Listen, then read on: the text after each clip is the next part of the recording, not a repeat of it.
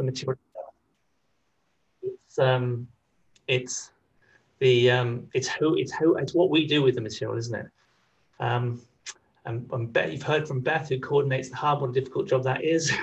but uh, um, but she's doing a brilliant job. And then we've got um, Ruby Wright, who's artist in residence and has produced a book for, for primary schools on plastic waste that's gone out to more than 500 schools. Uh, Danielle, we're going to hear of uh, soon, very soon, about the big compost experiment. Miguel is a material flow analysis expert.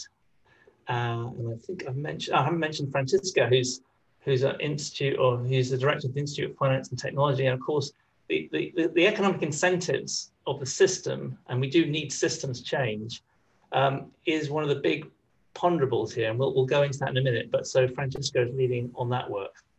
And I haven't mentioned Teresa on her material flow analysis, but that's also, she, she and Miguel work together on that. And they have some amazing new data sets. But we'll talk about that in future webinars. Today, we're going to concentrate on compostable and biodegradable plastics. So yeah, next slide, please, Danielle. Yeah, so just to show you how we're going to, uh, how the webinar is structured. So we, we just had the introduction. I'm going to hand on in a, in a minute to uh, Danielle, who's going to talk us through the big compost experiment first year results. Um, and, and, essentially, uh, this was an experiment we started a year ago on a citizen science experiment, encouraging citizens throughout the UK to put home compostable packaging into their compost bins. We recognised right from the beginning that every compost, compost bin is different and the people who manage them are different. And so we were really interested to see what the re results would throw up. And this is, a, this is a sort of different way of approaching whether something will or won't compost because they may or may not, these packaging um, conform to certain standards but the question is, do they actually compost in practice? And Danielle will, will talk about that in a minute. After that, we'll talk about, we'll, we'll, we'll switch gears and we'll talk about systems analysis of the whole system, which is where we, we, we feel um, a, a concentration of research effort needs to go. And we're going to show you a little bit about our systems analysis of compostables and biodegradables in the UK and some policy recommendations which we have are publishing today about what we think the government should do.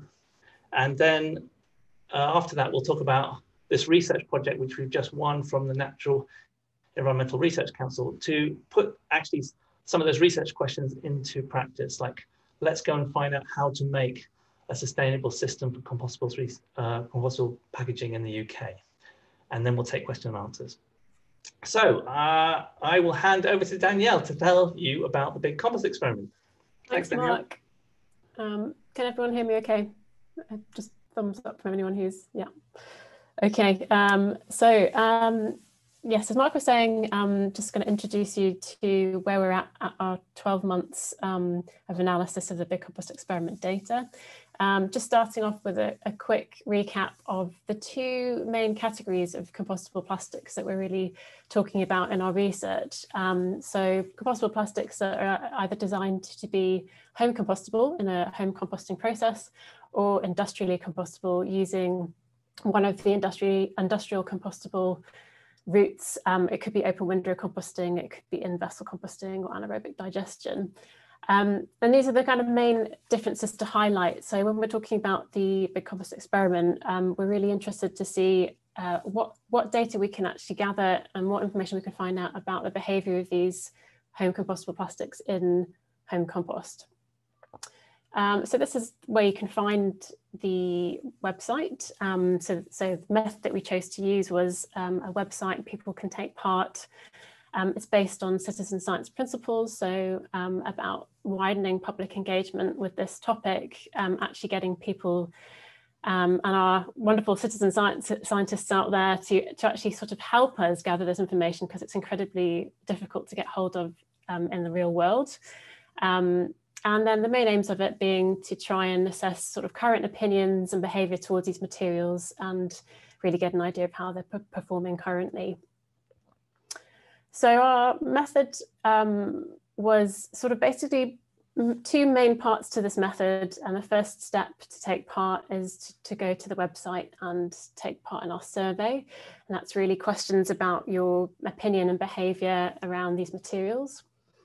Um, and then the second part is um, if someone or a participant wants to take part in home composting experiment, they can sign up, select some suitable materials, so compost uh, materials that are identified as compostable, home compostable, or they have any of the certification markings for um, home compostable plastics on them. Um, pop them in their composters, log um, how long they're going to, to test them for, so what their composting duration is, and then at the end of that period, when they're ready to dig up their compost, have a look for the items or any traces of items that might remain in them and um, pop some information and photographs of those on the website. Um, and the other main thing to sort of highlight is uh, participants are given a, a range of uh, degradation scale to, to choose from to try and compare their item results to. And this is in order for us to be able to understand better how these materials are kind of ending up, what, what their performance is in, in a composter. Um, so to summarize our uh, survey information, um, it's been very interesting to have a look through responses from this. Um, an overview of, of uh, responses to this question of are participants more likely to buy things that are marked compostable biodegradable. And we have an overwhelming 84% that said yes, um, which is indicating that in, in the sort of in general public terms, there is an interest and there is a popularity of these materials. Um, and so this is also something that as researchers we think is very interesting to, to know because we would like to know a bit more detail about why those materials are more favourable. So what are the kind of key actors or factors that um, mean that a participant is very interested in, in using or buying these materials. Um, so then when, um, when asked about where, if, if you do compost at home or you separate your food waste, where would you put biodegradable compostable plastics to dispose of it? We had an interesting set of results. So 43% of participants said that they dispose of the um, compostable plastics in their home composters, um, with a, a lower a 15% actually disposing them in council waste collection. Um, this is kind of interesting at the moment because of um, the difference in council waste collection provided in different areas in the UK. Uh, it's also interesting to note that um, because of the um, Environment Bill and the target to mandate household food collection by 2023, that this is kind of an interesting sort of proposition here, that we might see a shift in the way people potentially might dispose of plastics. Um, but it's interesting to know nonetheless where, where they're sort of currently being put. Um, so participants can also send in some amazing images um, of their composting um, methods. So we can see a really, really interesting range here of, of types of unit, where they're placed um, and also subsequent methods. So the way in which someone uses their compost and um, how long they compost for, for instance. So in answer to a few of, of, of these bits of, um, so these questions, um, when we asked what kind of compost people, people use, we found out that people often use more than one type. So sometimes they're using composters in combination with another um, the overwhelming majority um, favour outdoor closed bin composters. Um, they're sort of similar to the type of compost bins that you can buy subsidised through council websites. Um, so that's an interesting range of um, these, these types of bin being used um, and containers. So we've also got a, a wide range of biodiversity uh, being recorded in composters um, all around the UK as well. And this is this is pretty interesting and also quite essential to, to sort of note that that we have a connection here now between um, biodiversity um, in the garden potentially and um, with the materials that we're disposing of in them. So this is a sort of a high level kind of understanding of what we might find there. Um, and then this is the sort of range of, of items that people have selected to test. Um, it's a very interesting kind of range of uh, objects, product types, packaging, different structures. Um, and when we start to have a look at some of the kind of uh, information that we get behind this, so what kind of polymers are, are present in some of the materials and the objects that are being tested, You can see there's actually quite an interesting range um, from what we could identify. Um, things like cellulose polymers, we've got um, polylactic acids, PLAs, um, and things like starch-based polymers, so things that are derived from things like potato starch or cornstarch.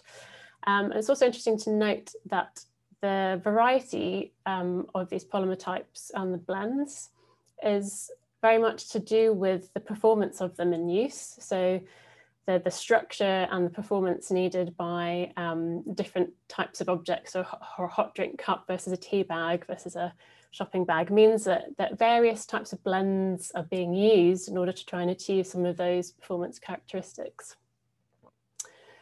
Um, so we've got um, a uh, an interesting, also an interesting side to this um, data, which is about being able to sort of have a look at how well people are understanding or interpreting um, the labeling on some of these materials. Um, and we took a sort of sample set of um, images just to sort of have a look at how participants were kind of understanding and identifying a, a, home compostable piece of plastic. And it seems that there's, there's quite a degree of confusion. Um, so with roughly around 14% um, uh, of our sample set, we're showing um, industrial composting standards on them. So it means that, that there is a little bit of confusion to, in order to identify these products and packaging in the first place. Um, and when we move on to some of the results that we're getting in, we've got about 402 uh, item results so far, and the study is definitely ongoing. So we're going to be getting more, more data points and more results back from people as the year progresses. Um, and this is just a sort of breakdown of what we're uh, what we're achieving at the moment. So as a sort of high level summary, out of um, all of the items results that we've received, 69% of the items uh, were, were reported as entirely tapped or, or partially degraded. Um, so conversely, 31% of the items were no longer visible or not found within uh, a home composter's composting timeframes. Um, and we've also got um, an interesting set of uh, va variation in terms of composting duration. So participants who, who choose to compost for three months, six months or nine months, we have had a selection of results back for all of those composting durations. Um, and we can see that there's a similar pattern emerging, even though um, this is still the first year and, and only 402 results so far. But there is a kind of a, a, statistical pattern emerging between three, six and nine months. So showing that there are some issues with degrading those items fully um, in those composting timeframes. Um, and this is a breakdown of the results um, because composters sometimes compost at different times of year and so our participants were allowed to, to kind of re reflect that behavior in the way that they they took part in experiments so we've got people who started a three month compost experiment in November, for instance. We've got someone who started a three month um, experiment in possibly in March or April time. So this is a summary of, of how that breaks down over the year. Um, I think it's really um, early, too early days to actually sort of get a full idea of how the, this, these results, um, these items were performing over the full year, because we're still getting slowly getting results back now, even after our first year running the experiment. So this is sort of just a kind of snapshot of work in progress, really. And um, we can see that there's a sort of variety of, of results coming back um, with items not degrading or not found over um, yeah, several of the months of the year. So that therefore seasonal change um, is, is not presenting any kind of, um, I don't know, uh, answers really to this yet. Um, so we'll have to watch this space and um, see where, where more of the data will take, take this analysis. Um, so then this is a this is a sort of a breakdown of the results according to their types. Um, so we've had so far the most um, items tested in the newspaper magazine wrap category. Um, and we can see that there's still sort of 74% uh, still finding bits or entirely tapped bits of their items um, in, in their compost. It's also interesting to see statistically we've got a similar results distribution happening over um, several other categories. So carrying bin bags, shopping bags, and fruit and veg films, for instance. Um, and this is a breakdown of those results regionally. Um, and we are showing some, some interesting, um, interesting results that even though England and Scotland, for instance, have um, generally have quite different climates, uh, we're actually sort of seeing some similar results in terms of um, items not fully degrading um, in composting timeframes. So in summary, um, what we're really showing at the moment is that there is um, a, a, sort of um, an issue, I guess, with the biodegradation of compostable plastics in home composting settings. Um, and some of the, the main issues seem to be at the moment that um, things may be starting to degrade, but they're not degrading fully within home composting timeframes, which, as we can see, some people compost in as, as quickly as three months or six months. And this also then uh, suggests at the moment that there is an issue with the standard home compost certifications available out there um, and their timeframes generally rely on a 12 month test duration to, to, to sort of break down an item. So this suggests that potentially that, that the certification criteria uh, need to be uh, looked at or reformed in order to sort of cater and represent true home composting uh, timeframes. Um, there's a there's a sort of significant confusion around the labelling and instructions for compostable plastic packaging, and this also affects the identification of industrially compostable materials as well, um, and is uh, something that we'll talk about in more detail in the in the following slides um, when we introduce our next steps for research. Um, but also the, finally to sort of say that the study is definitely ongoing. So if anyone is currently taking part, thank you very much. We look forward to seeing your results. And also if anyone else wants to start a home compost experiment or sign up to take a survey, please do. Um, the website details will be at the end of the presentation. Okay, so I'm going to hand over to Mark and Jenny as well. Thanks, Danielle. Um, okay, so now we're going to just talk about, um, sort of zoom out a bit from home composting into compostable plastics in general and the biodegradable sector, and just tell you what we found when we did a systems analysis of the whole sector and, and how we translated that into, a, into a, some policy recommendations, which we have been trying to feed into government. Um, so, so as Danielle really just sh showed, I mean, in terms of home composting, what we identify really is that there's a huge range of home composting environments across the UK, everyone's back garden and how they, and, and as I look at the data so far, what I see is it really does depend on the person uh, who's who's managing that compost and, and, and the way in which it's compost it's managed. So there's an enormous number of variables there, and it's really difficult for someone designing a material that will degrade in a certain time frame across all of those environments. It's almost an impossible task.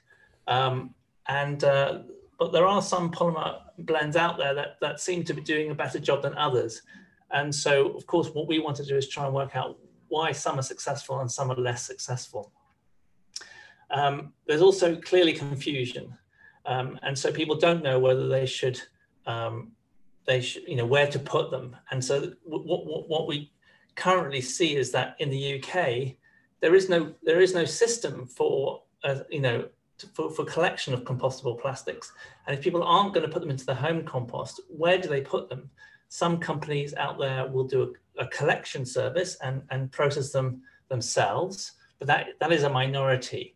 At the moment, they're sort of the compostable plastics end up on the market, they go into everybody's homes, and then really the only place if people are not going to home compost them or if they can't home compost them because not not mm. the majority of people in the UK don't home compost. Also, many of these plastics are actually only industrially compostable, so they shouldn't be put in the home compost anyway, as we've seen also from those results. So they, they're then sort of forced to put them into the, into the bin for landfill and incineration. And this, this is not a good outcome. This is not the desired outcome um, for a sustainable, uh, compostable and biodegradable plastics uh, sector. So what we, what we uh, would like to see, if you go to the next slide, thanks Danielle, is, is a system for manufacture and collection, sorting and composting of these compostable plastics. And how, how would that look? Well, we've kind of, we've, we've sort of sketched it out here. They get, they get, they, they come out of biomass uh, um, and then they go into chemical engineering where they're made into polymers. Uh, they turn up, they, they, they become compostable plastics with particular properties to protect the products that they're designed to protect and package. They then go into people's lives. Then the labeling, we really need to do something about the labeling because people don't really understand where to put them. And, and it, we, we, if we have a system that we've designed for, then those plastics, it, it, ought to be clear on the, on, on, the, on the packaging where citizens put that packaging. There then needs to be a way in which they're disposed and collected. And, and if this is part of a, a um, a, a, mixed collection, then they'll need to be sorted and identified. And that technology at the moment is also unclear. Um, if they go into food waste collection, at the moment, they're mostly separated and, and either burnt or landfilled in the UK. And this, again, is, is not an ideal situation. And, and, and people are confused about that too. And as we go towards uh, a fully UK-wide food collection service to all households, it's going to be more and more urgent that we clarify that situation. Then ideally they would go to composting and they would be fully compostable and end up back helping the soil become more biodiverse. But we also know that if they do get composted, what we get is we get sequestration of carbon in the soil. So this is from an environmental point of view, very, very beneficial, much more beneficial than being landfilled or incinerated. And of course, it then can fertilize the soil. So the ideal system as we see it is sketched out here.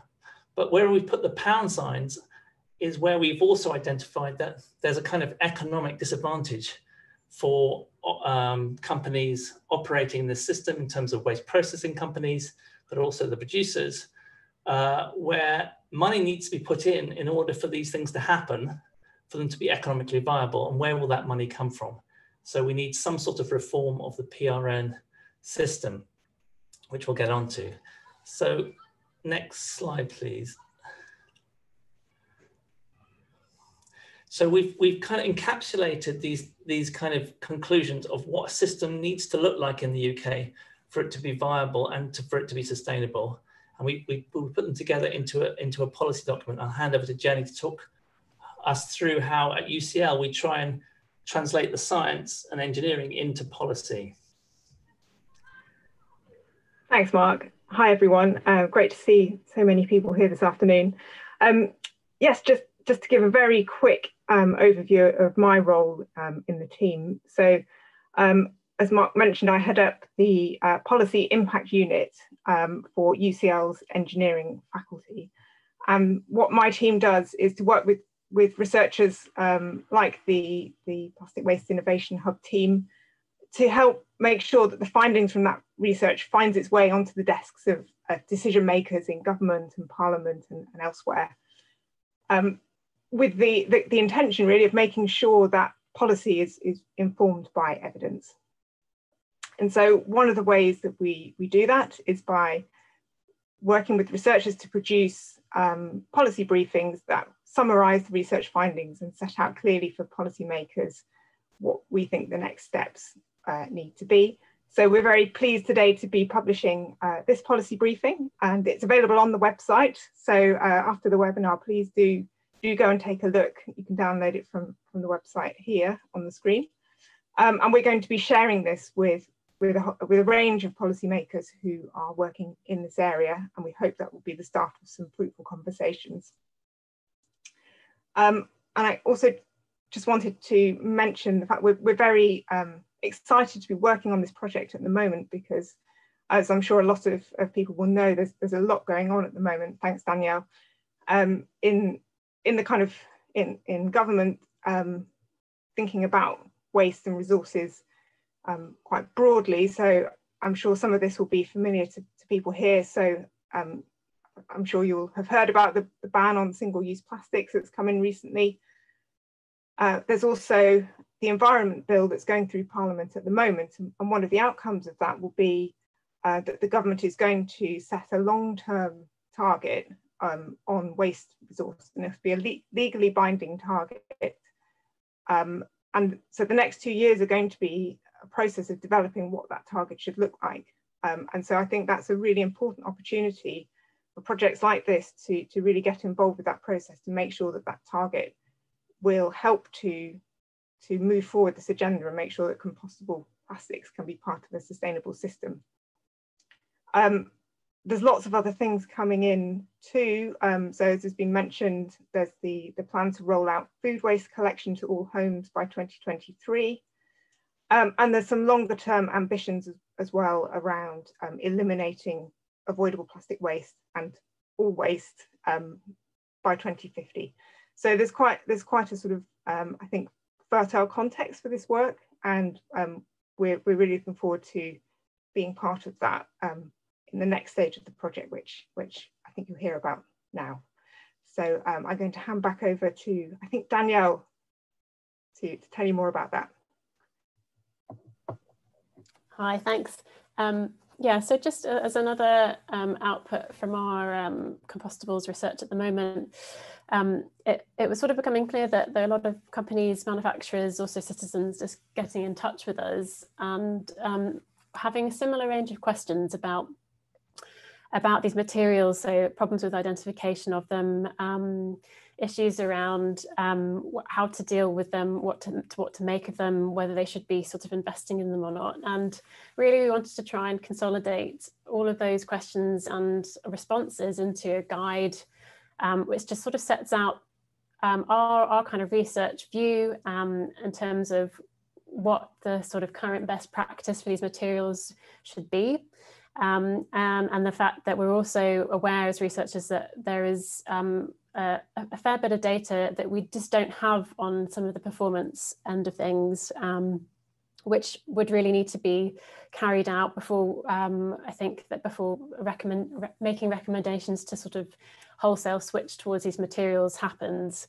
So this is um, a guide that you can have a look at that's available through the Big Compost Experiment website, um, which just sets out um, the, the path towards this research and some of these questions. Um, yeah, so just to, to, sort of summarize this section about our, our policy, um, uh, Danny, do you want me to, to sort of summarize for you or would you like to just quickly wrap up? No, do, do, do go ahead, Danny. Okay, great.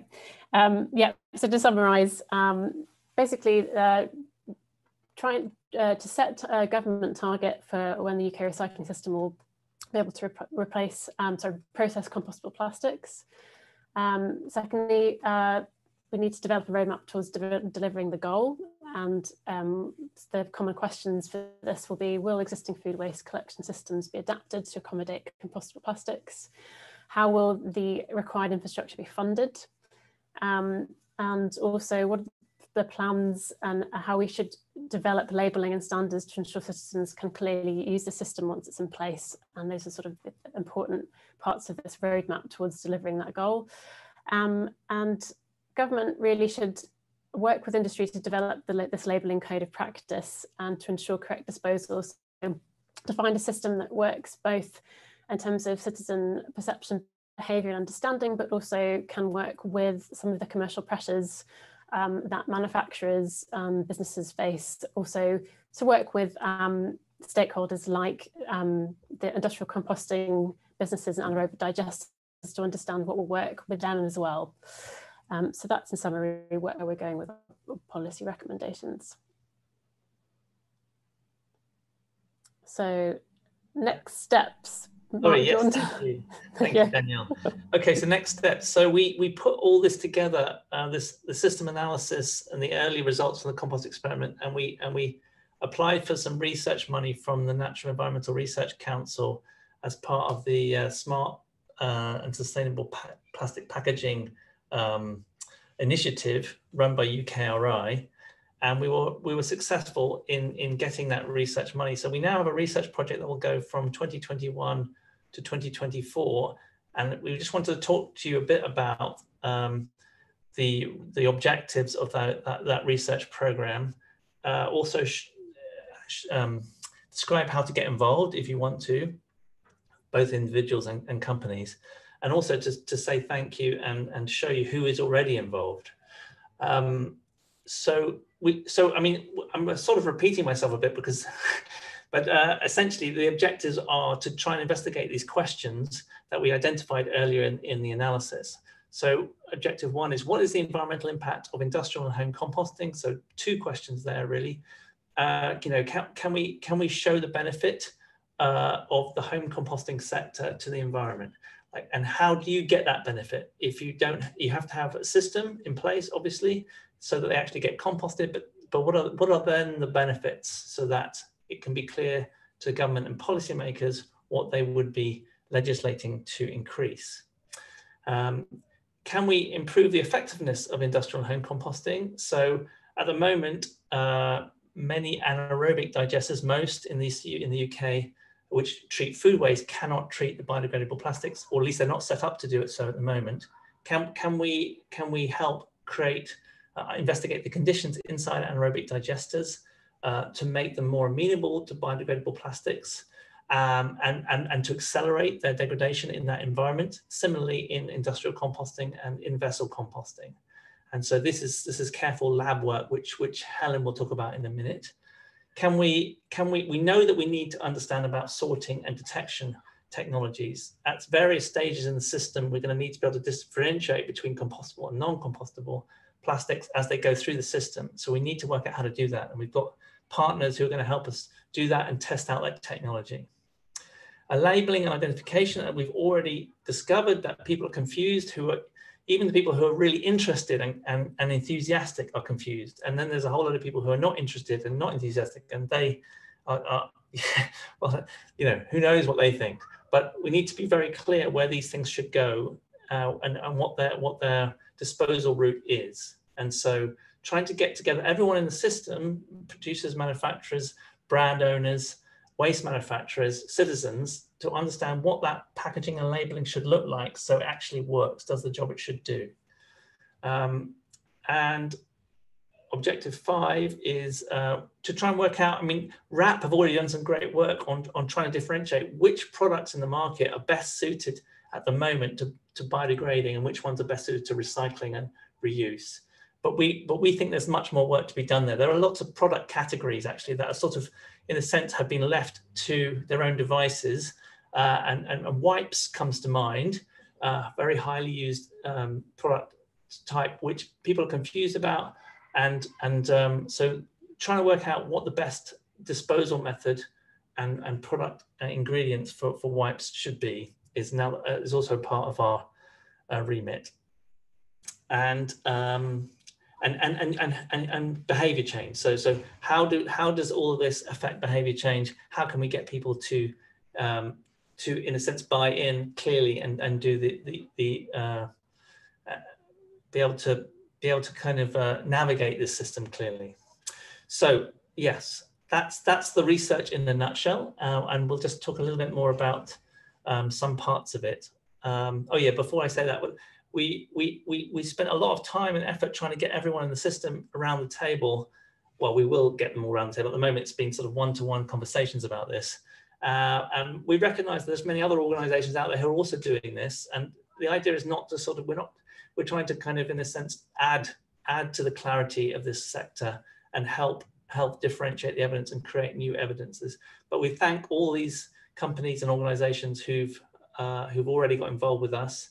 And as I say, they span the whole, the whole system. And that, I think that's the really important thing because there's going to, if we, we can't get one part of the thing working for one bit of the system, if it doesn't work for the other bit of the system, both financially and in terms of material composition, degradation, and so on. So it, it, it's, it's a systems approach and it, it has lots of different um, organizations involved. And we'll be meeting with them. And how do we work? We work, well, I mean, across these different boundaries of public policy, innovation. So the innovation is, is what Helen's going to talk about in a minute, about how we get um, you know, the, the enzyme degradation, bacteria working better on these things? How do we increase the success rate of, of biodegradation and composting? Um, and also innovation in terms of how do we get automatic sorting to work? We've got systems change. I just talked about that. I mean, that's such an important thing, trying to get everyone around the table and trying to understand the, uh, the levers, both economic and, and in terms of design principles and public policy. So Jenny was talking about that. How do we how do we bring policymakers right in from the beginning and understand their their concerns and worries? So that in a nutshell is how we, we're going to manage the project and make sure that everyone is is involved. Um, yes, so I'll hand over to Helen now to talk a bit about the chemistry and biochemistry because I think I've talked about materials design behavior and the policy and regulation. Okay, thanks Mark. And hopefully my video is working okay. Um, Danielle, can you forward on the slides?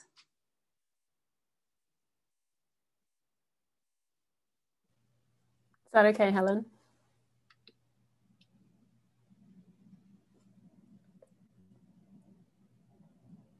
Okay, and is the video okay? Yep, can see your video. Okay, excellent. Good, thank you very much. Okay, so um, myself and John Ward, we're going to be looking at some practical aspects of the project. And in particular, what we're going to be looking at is a selection of polymers. Now, the major biodegradable polymers, they're shown there, um, but they're broadly the polylactates, the polyhydroxyalkanoates, and both of those are bio-derived. And of course, you've got other uh, biodegradable polymers such as the polysaccharides, but we're going to be concentrating on the PLAs and the PHAs. Um, there are other biodegradable polymers that are used, for example, PBAT that's uh, mentioned there, that's used in um, making plastic cups. And PBS is used in agriculture as well. And of course, many materials may have uh, mixtures of these, of these uh, biodegradable polymers in them. And what we're going to do is we're going to have a look at some of the bioprocessing options. And these will be, as Mark has mentioned, some industrial composting, an aerobic process, and also anaerobic processes uh, using anaerobic digesters. And we're also going to be looking at the combinations where um, these are used together.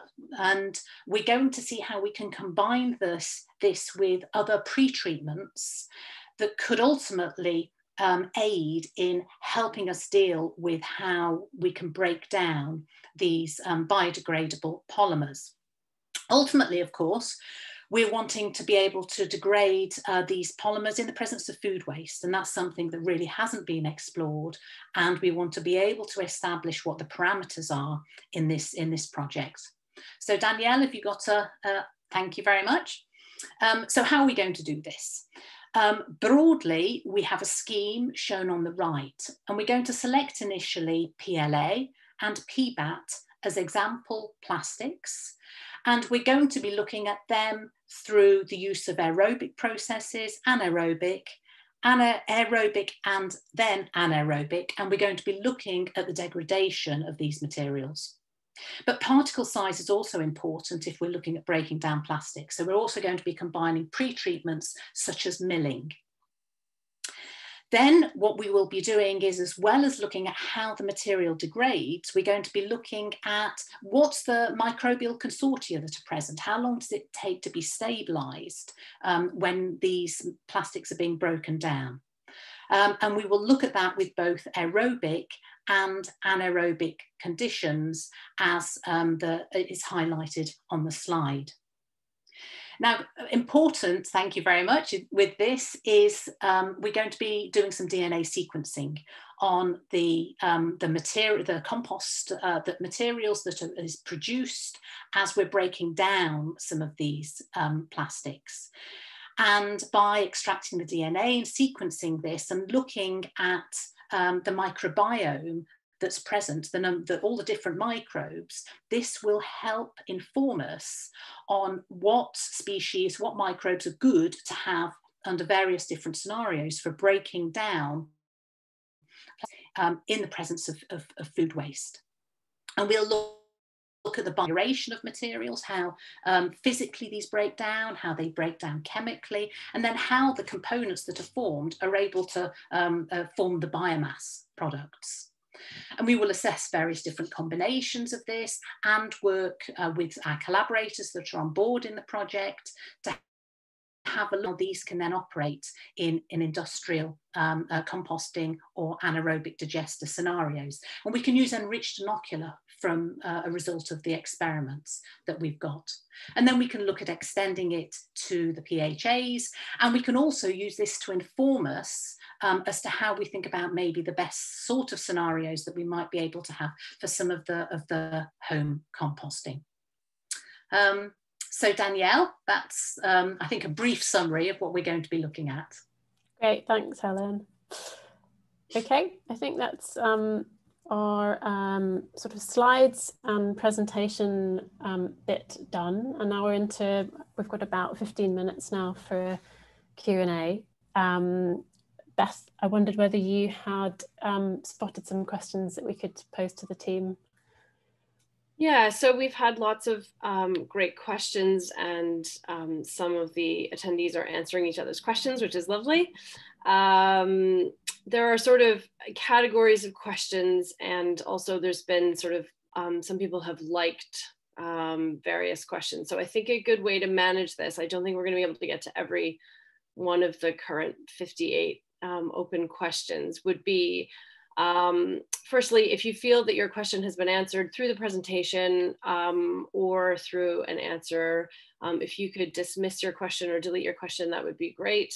Um, as well, if you can like other people's questions, um, that's great because that brings them to the top of the Q&A, uh, the Q&A box. Um, so I think what I will do is I will start with um, I'll just start with the ones at the top, and then um, if we see sort of, a, sort of, if we're answering the questions sort of in, in sort of topic areas, then we might sort of move on um, to uh, to other topics. So um, there, the, the initial questions all came in about the home composting. So um, Danielle will keep you, uh, will sort of put this to you. Um, so we've had 16 likes for Jillian's question. Have you consulted with hardcore gardeners? Gardeners um, world often say a minimum of 12 months to get good quality compost um, for your garden independent of, of compostable plastics. So the 12 month time scale for the home composting test may be realistic, um, but we may, um, there may be a need to educate consumers on how best to compost. I wondered if you could um, respond to that one. Um, I think it's a it's an interesting question. Um, it's also, um, I suppose, it's it's the, the, first thing I would say is that that, that anyone who's taken part, um, we have a, a, range of people who have self-selected themselves to take part in this, and so. Um, what's interesting about that is that it's it's probably more representative of the range of awareness and ability and um, access to composting out there. Um, so um, it's interesting to sort of think about um, if uh, there are programs, organizations which can or have the ability to promote very efficient composting processes. Um, I'm not sure that it's it's in fact reasonable to to to sort of assume that we could change people's composting practices across the UK in order that they would sufficiently um, process these materials that are, are, kind of finding their way into compost bins at the moment. So I think there's a sort of there's, there's kind of a couple of issues with with that. Um, we have um, been uh, in contact with several um, gardening organisations. So, for instance, um, Garden Organic, um, and we've we've spoken to them about some of the the kind of similar issues that they've seen with use of home compostable plastics in uh, in their experience and, and talking to their um, members. Um, but yeah, so I think in, in sort of summary that that we, we are aware that there are there are different practices, and I think as a researcher, I'm respectful of the fact that people have a different approach. And it's also and it also suggests that there are a range of conditions which people are composting in around the country, and they do vary quite uh, widely, as we can see in some of the photos and in some of the data that we're getting back. Um, so even even if we sort of approached um, educating people to compost in a particular way because it's incredibly efficient or creates a very aggressive environment for materials to be processed in, um, you still have the challenge of things like geographical or weather um, uh, differences in those um, different compost bins. I hope that I hope that answers or helps with that question. Great, thanks. Um, and then we have a question from Helen um, Barker that says, um, this may be too simple a question, but how can we be certain plastics are broken down to elements and not just particles large enough to cause problems, but too small to remove and reuse? And um, Jane follows that up by saying, the main question is what is still left in the soil and taken up by my veggies? So um, maybe we could bring in John to comment on this and then maybe Mark, um, you might have something to say afterwards. John, are you there? I'm here, yeah. My video is um, not active. It's been turned off by the host.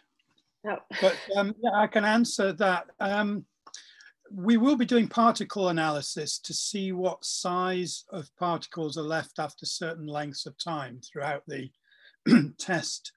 Uh, this is on the new NERC project that we've got.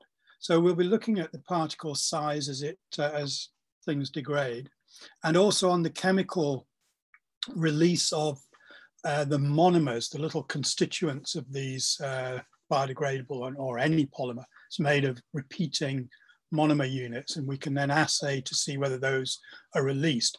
But those are literally food sources, and they are naturally occurring food sources for bacteria, soil bacteria, so things like lactic acid.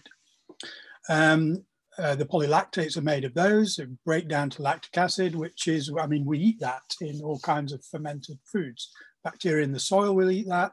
So generally, those then become part of the natural soil biomass. In the same way as when we put uh, leaves and grass into a compost heap, eventually they break down into a whole variety of things. Nothing breaks down completely, and that's why you're ending up with uh, humus, the material that you want to use on the soil again. And so that's really what these um, uh, biodegradable natural plas um, biopolymers will degrade to. A lot of it will be completely degraded. Others will be assimilated into bacteria and just become part of their biomass. And there will probably be a small amount of material left, which just becomes the, the general uh, material that soil is made of is that an answer? yeah, that's great. And I think that actually addresses um, one of the other, um, the next most like question, which is what value does compostable plastics add to a compost? Um, or is it just a disposal route for the material? Um, so I think you've um, yeah, it does. It does add to the soil in the same way as if you put on um, sort of shredded up cardboard and newspaper. That's cellulose, maybe a bit of lignin in the um, uh, cardboard, that is, it's just like a bit of refined twigs and leaves.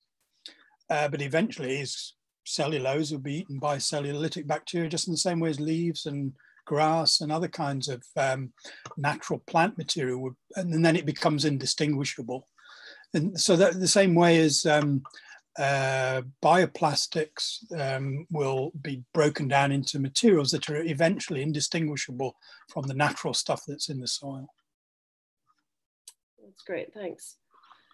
Um, and uh, a, hot topic of discussion has been tea bags. Um, should we recycle tea bags? Should we compost tea bags? Or, so what should we do with tea bags? Um, and there's been some answers on the on the chat, which is lovely. But Mark, maybe you could jump in and um, just talk about tea bags for um, a few minutes.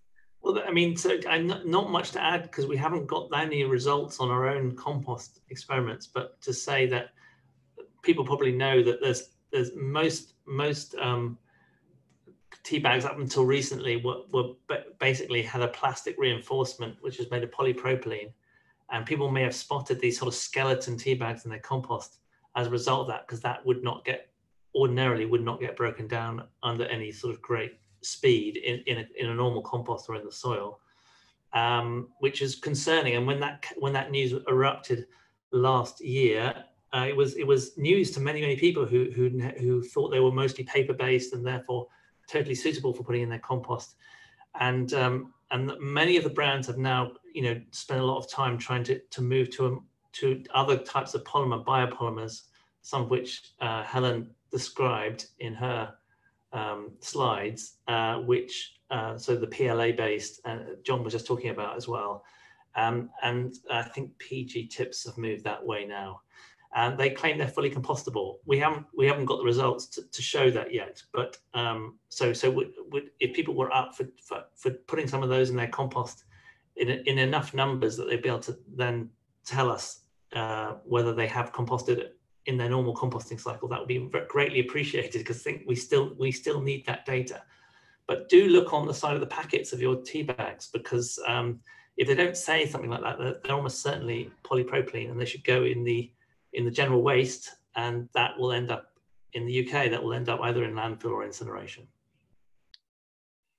Great, and, and I wonder whether Mark, you might, um, Mark or Danielle might be able to comment a little bit about labeling. I know that labeling is one of the things that we're going to be working on going forward. Um, but is there use, um, do we think there's value, for example, um, one of the questions um, says, you know, in saying how long something might take to to compost, um, and um, and also are people putting compostables plastics into the recycling bin? And so um, there's confusion around this labeling. I wonder whether Mark, maybe you might just discuss that a little bit, um, the problem with labeling and kind of where we're at with that.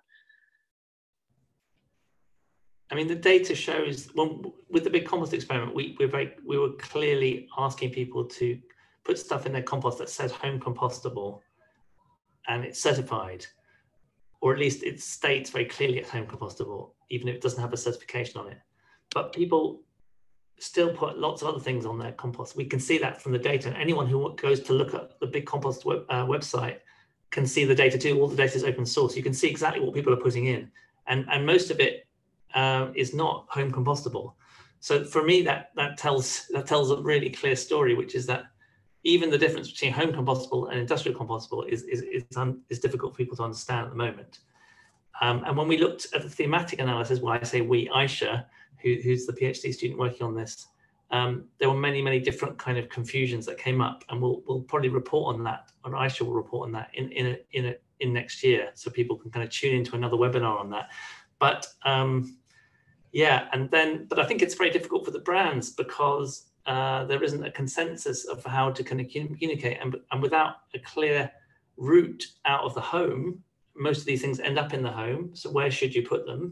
And people, there's so much information happening that I think this is an area where we really, really do need to kind of clarify what citizens should do, um, and how much how much labeling would really help. Because unless there's a very, you know, two or three labels, one just says recyclable, I not not where you are in the country and might be locally, but so it's sort of also dependent, as I see it, on on the reform of the recycling system and labelling, and the uniformity across the UK of the system. So it's slightly contingent on those issues too, which which makes it much more difficult for compostables.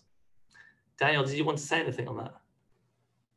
Um, hi, um, I, I think that sort of uh, slightly recapping on um, uh, the uh, part of our research is about the identification of these materials in industrial settings as well. Um, so I think that um, the identification issue is both about citizen perception and identification. So how do you understand what piece of plastic is when you buy it and when you want to throw it away? But then there's also the kind of industrial side, which is um, when a when a processor needs to understand what is in their of, of organic waste and, and how to know what is compostable and, and what is essentially contamination that has its own slightly different challenges um, because things need to be uh, um, identified at speed often because there's a pressure to try and uh, process materials quickly. Um, so we're looking at, to sort of recap, the, the, the, the future of this research will be to look at the, the range of technologies out there that can allow um, identification on an industrial scale, and those might be through um, infrared sensing, it might be through digital watermarks, but the, the other kind of side to this might be about just simple pigmentation or color or distinction of a material. So, um, for example, there are um, companies, for instance, Co-op have, have tried um, uh, pigmenting their bags in a particular way and, and it has a sort of um, visual appearance to it which may may have some possibilities in terms of identifying materials with your with your eyes. And so some of those processes which which is which which are still human led um, and and sometimes not done by a machine that it would allow for, for people to be able to distinguish materials more clearly through things like color color identification not just um, relying on small um, labeling Thanks. I'm um I'm aware that we're now at 4:30, um, which is um, the end, technically the end of our webinar. But I'm also aware that we have 95 open questions, which is brilliant. Um, and I wonder whether um, Mark or Danielle, we might be able to arrange some sort of live Q&A on a lot of this, um, a lot of these questions um, at, for another date, not where we do a webinar, but we just have, you know, questions coming in and we can, um, we can answer them perhaps.